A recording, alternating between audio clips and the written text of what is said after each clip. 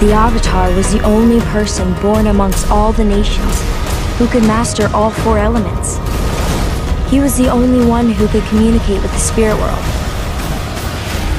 With the spirit's guidance, the Avatar kept balance in the world. And then a hundred years ago, he just disappeared. Time is a funny thing. Past. The future. It all gets mixed up. There's only one way to keep it straight. Always remember who you are.